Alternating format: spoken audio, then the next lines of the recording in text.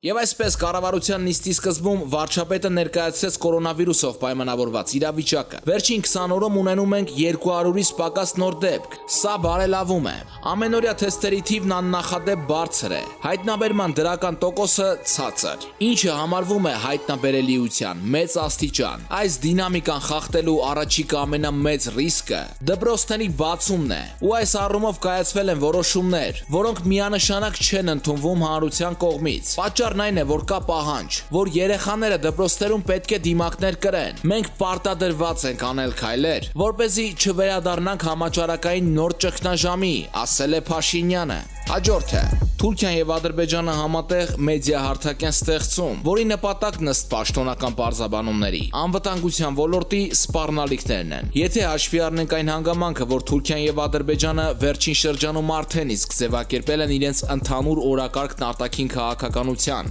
անվտանգության, տնտեսական ուղություններով, ապա սա թուրք-ադրբեջանական միասնական քաղաքականության տրամաբանության մեջ տեղավորվող հերթական ներդաշնակեցումն է։ Հասկանալի է, որ հիբրիդային պատերազմի դրույթներում առանցքային դեր ունի տեղեկատվական քաղաքականությունը։ Դա կդիտեն քարոշչական պատերազմի թե ագրեսիվ տեղեկատվական գործողությունների համատեքստում կարևոր չէ։ Այս մեդիա պրոֆիլի ֆունկցիան ներկայիս պայմաններում հիբրիդային պատերազմում տեղեկատվական ապահովում իրականացնելու համար է։ Իսկ սահմանային լարվածության կամ մարտական գործողությունների պայմաններում հասկանալի է, որ ապահովելու է մարտական գործողությունների տեղեկատվական բաղադրիչը։ Թուրքիայի գերակտիվ մասնակցությամբ ընդհանուր տեղեկատվական ռազմական ռեսուրսների մոբիլիզացմամբ թուրք-ադրբեջանական այս նախաձեռնությունն ահռելի ճակատ է բացում Հայաստանի, Արցախի եւ Սփյուռքի համար։ Դա անկասկած արկա էր նաեւ միջ այս իրադարձությունները, իսկ այսօր առավել քան երբևէ։ Հայկական իրականության մեջ արկա տեղեկատվական ներուժը հնարավորինս համախմբվելու եւ ընդհանուր օրակարգին ծառայեցնելու խնդիր կա։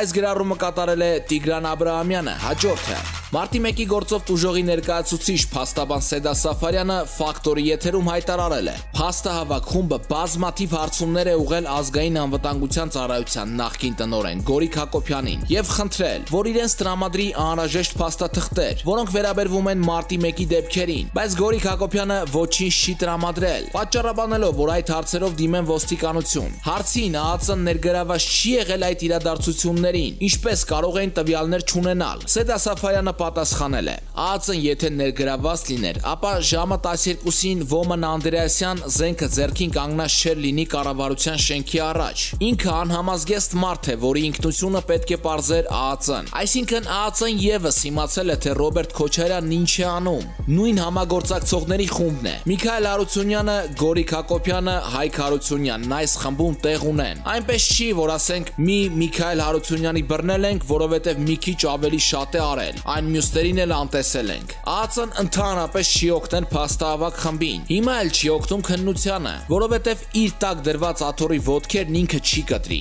Այդ մարդիկ շարունակում են աշխատել եւ վստահ եմ, որ մարդիկ կան առաջընթաց են ունեցել եւ այդ առաջընթացի պարագայում նրանց պետք է ասվեր. պատմեք ճշմարտությունը։ Ես ուզում եմ հասկանալ ինչու եք մարդկանց առաջ տանում, որ հատկանիշի համար։ Քանի որ պետական մարմինները ձևավորվել են Ռոբերտ Քոչարյանի եւ Սերժ Սարգսյանի օժանդակությամբ, այս ուժը չի կարող ներուժ լինել եւ ծառայել ՀԿՑ-ի առաջ դրված խնդիրների խնդիրների լուծման հարցում։ Այսպիսի ուշագրավ տեղեկություններ։ Հաջորդը ժամանակ թերթը գրեց։ ԲԿ նախագահ Գագիկ Ծառուկյանը տարբեր առիթներով հայտարարում է, որ իր կողմից խոստացված հանրահավաքին մասնակցելու է 100.000 մարդ եւ այդ հանրահավաքի կազմակերպման վրա ինքը ծախսելու է 5 միլիոն դոլար։ Ստացվում է 1 մարդու հաշվարկով 50 ԱՄՆ դոլար։ Միայն թե հայտնի չէ ոչ հանրահավաքի անցկացման ժամը, ոչ առավել եւս օրակարգը։ 168 ժամի եթերում ԲԿ-ական պատգամ պատգամավոր Գևորգ Պետրոսյանը ասել է. Ինձ հնարավոր չէ վախեցնել կալանավորելու լուրերով։ Հենց հիմա էլ ստեղից կարամ քայլեմ գնամ Բերդ։ Տենամալա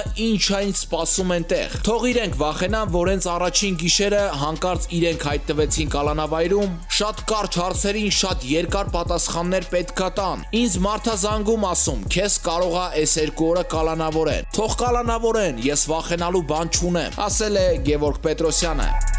Սիրելի հայրենակիցներ, կարևոր եւ ուշագրավ թեմաներ։ Հաջորդ թիվ կներկայացնենք բացառիկ տեղեկություններ։ Խնդրում ենք հավանեք այս տեսանյութը եւ առաջարկում ենք ծանոթացեք այս ինֆորմացիաներին։ Ապրիլյան քարորիա պատերազմի հանգամանքներն ուսումնասիրող խորհրդարանական քննիչ հանձնաժողովի նախագահ Անդրանիկ Քոչարյանը լրագրողներին հայտնել է, որ սեպտեմբերի ընթացքում հանձնաժողովը իր մեկամյա աշխատանքի զեկույցը ներկայացնելու է խորհրդարանի նախագահին։ Նրա խոսքով զեկույցը ունենալու է խիստ գաղտնի, գաղտնի եւ բաց տիրույթներ։ Դեռևս պարզ չէ, թե Հայաստանի հանրային շերտերից, քաղաքական սուբյեկտներից, պետական կառույցներից որ շերտերը, որոնք ովքեր զեկույցի որ մասին կունենան հասանելիություն։ Դրանով է պայմանավորված լինելու, թե ապրիլյան քարորիա պատերազմի վերաբերյալ հանրային, այսպես ասած, տարերային կամ թեկուզ ուղղորդվող քննարկումները ինչ տրանսֆորմացիայի կենթարկվեն։ Մեկամյա աշխատանքի արդյունքում հանձնաժողովին կհաջողվի, այսպես ասած, փակել թեման, դադարեցնել հնարավոր շահարկումները, թե հանձնաժողովը կբացի նոր հարցեր, նոր քննարկումներ, հնարավոր է նոր շահարկումներ եւ այլն։ Մեծ հավանականությամբ հնարավոր է ասել, որ ինչպիսին էլ լինի ապրիլյան Սարգսյանի հանձնաժողովի զեկույցը այն չի փակելու թեման։ Հետևաբար առանցքային է այն, թե ինչ խնդիր է լուծելու զեկույցը։ Եթե դիտարկում ենք ֆունկցիոնալ պետական խնդիրները, ապա արժեր դրա համար ստեղծել խորհրդարանական հանձնաժողով, եթե հնարավոր էր իրականացնել այսպես ասած գերատեսչական քննություն։ Մյուս կողմից իհարկե հնարավոր է, որ չի եղել վստահություն գերատեսչական քննության ամբողջության նկատմամբ, եւ վարչապետ Փաշինյանը ընտրել է խորհրդարանական քաղաքական թիմի ձևաչափը, եթե իհարկե այս պարագայում կա հենց թիմային վստահության հանգամանքը։ Նվազագույնը իհարկե առաջանում է հակակշռության իրավիճակ, թույլ տալով գուցե առնվազն համեմատության եւ համադրության ենթարկել տարբեր ձևաչափերով եւ տարբեր ժամանակներում ձեռք բերված տեղեկատվությունը։ Մի բան երևի թե վեր է կասկածից, որ խորհրդարանական հանձնաժողովի ձևաչափով քննելով ապրիլյան քարորիա պատերազմը, վարչապետ Փաշինյանը առաջին նպատակներից մեկը երևի թե դիտարկում էր քաղաքական ազդակը, որ տիրապետում է գործընթացին, կատարվածին ամբողջությամբ եւ այսպես ասած թեմայի մեջ է։ Բանն այն է, որ ապրիլյան քարորիա պատերազմը ինչպես առիթ են ունեցել ասելու լոկ քարորիա կամ ավելի երկար ձգված ռազմական գործողություններ չէին։ Այդ պատերազմը տարիներ ձգված եւ անգամ հրադադարից հետո շարունակված, իսկ գուցե նաեւ շարունակվող աշխարհակաղակական գործընթաց է։ Առ այսօր ակտիվ իր շատ դերակատարներով հանդերձ։ Հենց այդ հանգամանքն էր, որ Փաշինյանին մղեց խորհրդարանական քննության եւ այդ մասին հայտարարությանը, որը հնչեց 2018-ի մայիսին, երբ առաջին անգամ կալանքից ազատ արձակվեց երկրորդ նախագահ Ռոբերտ Քոչարյանը։ Այլընտրանքային նախագծեր խմբի անդամ Վահե Հովանիսյանը ծավալուն վերլուծություն է գրել էլիտարների անհրաժեշտության եւ որակի մասին։ Մասնավորապես նա նշել է. այս իշխանությունը շատ նման է մի մեծ հասարակական կազմակերպության, որն ունի իր կոնկրետ շահառուներն ու թիրախ խմբերը եւ այդ շրջանակներից դուրս չի գործում։ Միայն նորազգային առաջադիմական էլիտան կարող է կազմակերպել ներհասարակական երկխոսություն Արցախի խնդրի շուրջ։ Հարավային Կովկասում մեր ոչ միայն գոյատևման, այլև զարգացման մասին, հարևանների հետ մեր հարաբերությունների եւ այլնի մասին։ Մենք պետք է խոսենք, որ լուծումներ գտնենք։ Եթե մենք չխոսենք, փակ թեմաները շարունակելու են խեղել, խեղդել մեր հասարակությանը եւ parberabar նոր ավելի վտանգավոր պատահականություններ են գալու իշխանության։ Մենք պետք է ձևավորենք առաջ գնալու թիմ, պետությունը եւ հասարակությունն առաջ տանելու ունակ էլիտա։ Պետք է անենք հիմա ու իրար վստահելով։ Խելոք մտքեր է հայտնել Վահե Հովանիսյանը արծարծել է կարևոր թեմա։ Դեռ 1990-ականների սկզբներից Հայաստանում նոր որակի քաղաքական, տնտեսական եւ մշակութային էլիտա ձևավորելու գաղափարը շոշափվում էր։ Նախ պետք է հասկանալ, թե ինչ բան է էլիտան։ Կա դրա երկու հիմնական բացատրություն։ Մեկը դա մարդկանց այն խումբն է, որը օժտված է մեծ իշխանությամբ, լծակներով եւ ահռելի ազդեցություն ունի քաղաքական գործընթացների վրա։ Նման էլիտայի դեպքում մտավոր բարոյական հատկանիշները երկրորդական են, այսինքն դրանք չեն կարևորվում։ Եվ կա մեկ այլ էլիտա։ Սա այն անհատների խումբն է, որոնք մտավոր եւ բարոյական բարձր հատկանիշներով են օժտված, հստակ արժեքների եւ սկզբունքների կրող են, որոնք գտնվում են հասարակության ավանգարդում եւ այդ հասարակության համար ճիշտ ու սխալի ուղեցույց են, ունեն հանրությանն առաջ մղելու էներգիա։ ԽՍՀՄ-ի օրինակով սա լավ է երևում։ Այնտեղ կար երկու էլիտա։ Մեկը իշխանական պարտիական էլիտան էր։ Այն անսահմանափակ քաղաքական ազդեցություն ուներ, նա էր որոշում երկրի զարգացման վեկտորը, ու դրա հետ մեկտեղ պարտիական էլիտան զուրկ էր մտավոր բարոյական արժեքներից։ Որևէ հեղինակություն չէր վայելում, չուներ համոզմունքներ եւ արժեքներ։ Զբաղված էր բացառապես իր բարեկեցիկ կյանքը վայելելով։ Հանրությանը պարտադրում էր կեղծ արժեքներ եւ կար մշակութային էլիտա։ Շատ հաճախ նրանց անվանում են այլախոհների խումբ, բայց միայն այլախոհությունը քիչ է էլիտա համարելու համար։ Մենք շատ այլախոհներ գիտենք, որոնք այլ իրողություններում ԽՍՀՄ-ի փլուզումից հետո ցույց տվեցին իրենց ողջ դատարկությունն ու գաղափարական սնանկությունը։ Խորհրդային մշակութային էլիտան տնտեսական էլիտա լիներ չէր կարող։ Առաջին հերթին արժեքների գաղափարների գեներատոր էր, որը կարող էր հանրությանը բարոյական եւ մտավոր այն արժեքները տալ, որը պարտիական էլիտան անկարող էր։ Այդ էլիտայի ներկայացուցիչները մարդկանց վարքի կենսակերպի փոխհարաբերությունների նոր դոգմաներ էին առաջարկում եւ հանրության առավել առաջադեմ խավը հենց այդ էլիտայի շնորհիվ սկսեց ձևավորվել։ Վիսոցկի, Օկուջավա, Ռոյ Մեդվեդև, Գրեբեշնիկով, Սախարով, Անդրեյ Սինյավսկի, Ալեքսանդր Գալիչ։ Սա ընդհանրապես մի փոքրիկ մասն է խորհրդային մշակութային էլիտայի։ Նորանկախ Հայաստանում նման էլիտայի ձևավորման ինչ որ նախանշաններ կային։ Ունեինք մշակութային ոլորտի ակնառու գործիչներ, որոնք փորձում էին նոր ժամանակների մարտահրավերներին գտնել պատասխաններ, հանրությանը ազդակներ հաղորդել, որակական նոր հարթության բարձրացնել, լինել հանրության ավանգարդում։ Խորեն Աբրահամյան ունեինք, Հրանտ Մաթևոսյան, Մհեր Մկրտչյան, Սիլվա Կապուտիկյան, Ֆրունզե Դովլաթյան, Օհան Դուրյան, Վանո Սիրադեղյան եւ այլն։ Քաղաքական եւ տնտեսական էլիտաների հարցն ավելի բարդ էր, քանի որ այդ ավանդույթները այդ մշակույթը չեն ունեցել։ Դրանք դեռ նոր պետք է ձևավորվեին։ Պատերազմի շրջափակման եւ այլ պատճառներով այդ գործընթացը շատ դանդաղ էր ընթանում։ Հիմա հարց է առաջանում. ինչ գործ ունի Վահե Հովանիսյանը Ռոբերտ Քոչարյանի կողքին։ Խոսել էլիտայի անհրաժեշտության մասին եւ գնալ կանգնել մի մարդու կողքին, որը խորհրդային գավառական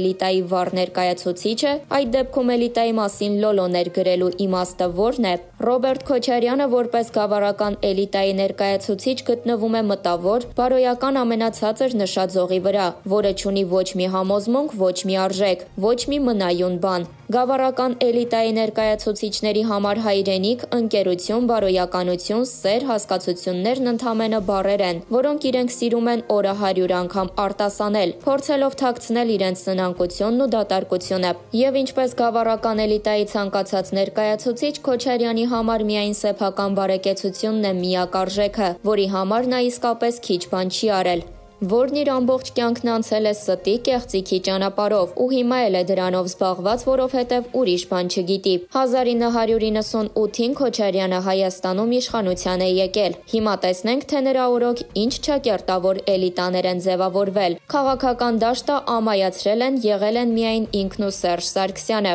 Տնտեսական դաշտում իրենց ստեղծածը եղել է Գագիկ Ծառուկյանն ու Միշա Բաղդասարովը։ Մշակութային դաշտի չակերտավոր էլիտան էլ Նունե Եսայանն ու աթուլն են եղել։ Այսինքն, երբ Քոչարյանը եկել է Հայաստան, ոչ թե փորձել է իր գավառական մարդկանցից վեր բարձրանալ, նոր արժեքներ ворթեգրել, այլ ամբողջ հանրությանն է փորձել իր մակարդակին իջեցնել։ Միայն գավառամիտ հետամնաց հասարակության դեպքում նա կարող էր ինչ-որ մեկի հետ համեմատվել, ու դրա արդյունքները մինչև հիմա զգացվում են ամենուրեք, բոլոր ոլորտներում։ Այդ որ ասում են Սորոս, Չիփ, Թուրքի լամուկ, Ադրբեջանի ջրաղացին ջուր լցնող եւ այլն։ Դա հենց նախկին իշխանությունների սերմանած գավառամտության դրսևորումներն են, բա որտեղից էլիտա ունենայինք։ Պարոն Բեկմեզյան, դատական համակարգից դժգոհությունները չեն դադարում։ Օրերս մարտի 1-ի գործով տուժողների իրավահաջորդները հայտարարեցին, որ չեն մասնակցելու դատական նիստերին։ Ընդհանրապես հնչեղություն ունեցող տարբեր գործերով մարդիկ դժգոհում են դատական համակարգից։ Ինչպես լուծել այս խնդիրը։ Բեկմեզյան. Շատ ցավալի հարց եք բարձրացնում։ Ես կոնկրետ այդ գործով լսել եմ կողմերի հայտարարությունները, համապատասխան հետևություններ արել ենք։ Ես եւ իմ գործընկերները մեր աշխատանքը կազմակերպում ենք այնպես, որ เป զի նմանատիպ անվստահության մտնոլորտ չլինի դատական համակարգի նկատմամբ։ Իհարկե մենք կարող ենք անել միայն այն, ինչ օրենքով մեզ վրա դրված է։ Ցավոք սրտի որոշ դեպքերում դատական համակարգի վերաբերյալ բողոքները նաեւ սուբյեկտիվ բնույթ ունեն։ Միանշանակ շատ հարցերում բողոքներն օբյեկտիվ օբյեկտիվ են։ Ես որպես ԲԴԽ անդամ դրանց վերաբերյալ հետևություններ անում եմ։ Եկեք սա հստակ ֆիքսենք։ Ես չեմ ասում, որ դատական համակարգում խնդիրներ չկան, բայց շատ դեպքերում բողոքները սուբյեկտիվ բնույթ են կրում։ Հատկապես հիմա, երբ հետևում ենք կալանավորման կալանքից բաց թողնելու գործընթացներին, բոլոր գործերով, ոչ միայն հնչեղություն ունեցող, ակնհայտ է, որ այն դեպքում, երբ որոշումը կայացվում է ինչ-որ մեկի օգտին, այդ անձն ուղակի դա ընդունում է որպես փաստ, եւ շարունակում է ապրել։ Իսկ եթե լինում է դատական ակտ, որն ինչ որ մեկի դեմ է, ինքը սկսում է քննադատել դատական իշխանությանը, թե այն վատ է, կոռումպացված է եւ արանքում տուժում է դատական համակարգը։ Ամեն դեպքում ցանկացած դատական ակտ ինչ որ մեկի շահերից է բխում եւ ինչ որ մեկի շահերին դեմ է։ Երբ կա երկու կողմ, ամեն մեկն ունի իր ցանկությունները եւ եթե դատական ակտն ինչ որ մեկի ցանկությանը չի համապատասխանում, նրանք բողոքում են ու մեղադրում դատավորին։ Մարդիկ չեն մեղադրում փաստ փաստաբանին, պետական մեղադրողին, որ լավ չեն աշխատել, բայց մեղադրում են դատավորին, որովհետև բոլորի վերջնական սպասելիքները դատարաններից են։ Եվ ցավոք սրտի ստեղծված դատական պրակտիկայի պայմաններում շատ դեպքերում մարդիկ նաև ճիշտ են։ Այսինքն դատարանները շատ դեպքերում կարող են կիրառել երկակի ստանդարտներ, որը մենք պետք է բացառենք։ Երկակի ստանդարտներն ամենասխալ բանն են դատական իշխանության գործելավոճում։ Այսինքն մենք պետք է կարողանանք ֆիլտրել, ընդունել ու հասկանալ օբյեկտիվ բողոքները, դրա արդյունքում փորձել շտկել դատական գործընթացներում արկա սխալները։ Լրագրող. Միգուցե այս իրավիճակը բխում է նրանից, որ դատական համակարգում կտրուկ բարեփոխումներ չեղան։ Բեկմեզյան. Ես միշտ ասել եմ, որ դեմ չեմ կտրուկ բարեփոխումներին, բայց կտրուկ բարեփոխումները պետք է այնպես լինեն, որ չվտանգեն անձանց դատական պաշտպանություն ստանալու իրավունքը։ Այսինքն, եթե մարդիկ իրենց դատական գործընթացում ինչ-որ փուլ են հասել, չպետք է այդ մարդկանց իրավունքը խախտվի։ Կան դեպքեր, երբ դատական գործընթաց գործընթացը երկար ամիսներ տևել է եւ մոտենում է իր տրամաբանական ավարտին ու հանկարծ որոշվում է կտրուկ բարեփոխման արդյունքում այդ դատավորներին հանել եւ դատական գործընթացը պետք է սկսվի նորից։ Արդյոք այդ անձը, ով ենթադրենք 3 տարի սպասել է վերջնական դատական ակտին ու մոտ է դրան, համաձայն է, որ դա լինի։ Արդյոք սա չի լինի արդարադատության խաթարում։ Շատ նուրբ հարց է, բայց շատ դեպքերում առանց կտրուկ փոփոխության ոչինչ չես կարող անել։ Ուղղակի այդ կտրուկ փոփոխությունը պետք է լինի այնպես, որ շատ ցավոտ չլինի։ Լրագրող Համակարգի բարեփոխումները ներկայում որ փուլում են։ Բեկմեզյան. Մենք հիմա սահուն ու հանգիստ փոփոխությունների փուլում ենք, որոնք գնալով ավելի արագանում են կապված որոշակի գործընթացների հետ։ Եվ արդյունքում ես հույս ունեմ, որ այդ արագությունը կմոտենա որոշակի կտրուկ քայլերի։ Բայց ես չեմ կարծում, որ մենք սրանով կհասնենք այն կտրուկությանը, որն ուզում են հասարակության շատ անդամներ։ Ես չեմ ուզում գնահատել դա ճիշտ է թե սխալ։ Չեմ ուզում այդ մարդկանց քննադատել կամ գովաբանել։ Ամեն մեկն ունի իր տեսակետը Ես համաձայն եմ, որ բոլոր տեսակետները պետք է լսվեն, բայց պետք է լուծումը գտնվի այնպես, որ เป զի դատական իշխանության միջոցով արդարություն ստանալու հույս ունեցող անձանց իրավունքը չխախտվի։ Եթե մենք գտնենք տարբերակ, որ առանց այդ անձանց իրավունքը խախտելու դատական համակարգը կտրուկ ձևով կարող ենք փոխել, ես միանշանակ համաձայն կլինեմ, որ เป զի մենք այդ քայլերով շարժվենք առաջ։